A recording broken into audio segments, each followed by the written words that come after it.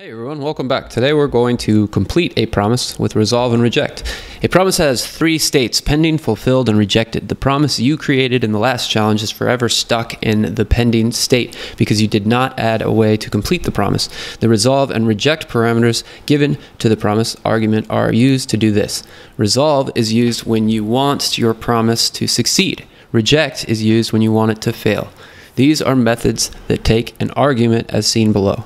So const my promise is equal to a new promise, resolve reject, and when inside of the function, if condition here, we want to resolve. So if whatever happens out that you're trying to create a promise based around, we resolve with promise has been fulfilled, else we reject with promises was rejected.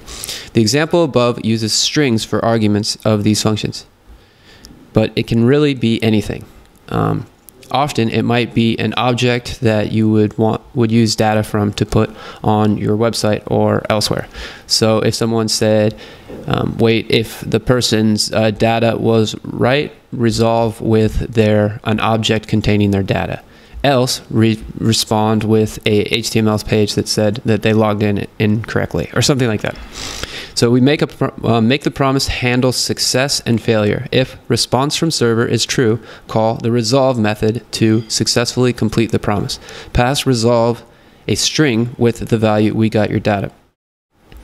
If, res if response from server is false, response from server is false, we don't actually have to write that in there because it's the else statement. Use reject method instead and pass in the string data not received.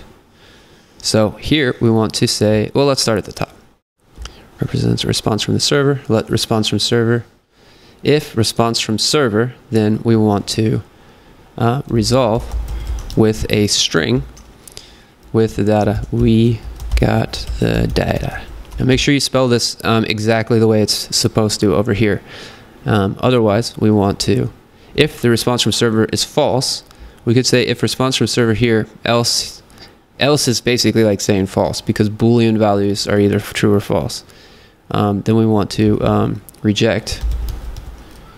And we want to say data not received. And that should give us the answer. Let's run the tests and they pass. I uh, hope you guys enjoyed this one and we'll see you in the next lesson